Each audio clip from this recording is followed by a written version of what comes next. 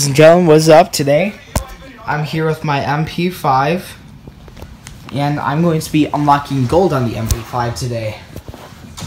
Um, uh, I think this one was actually pretty easy to unlock and yeah, so I should be unlocking unlocking gold by the end of this round.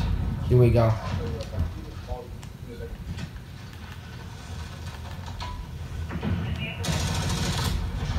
One.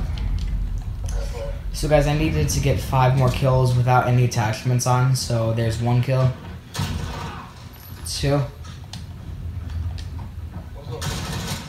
Oh crap. Three. Guys, really close. Four.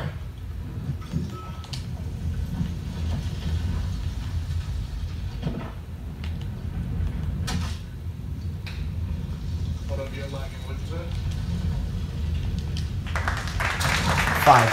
That should be it. Gold, let's go, baby. I just unlocked gold, guys.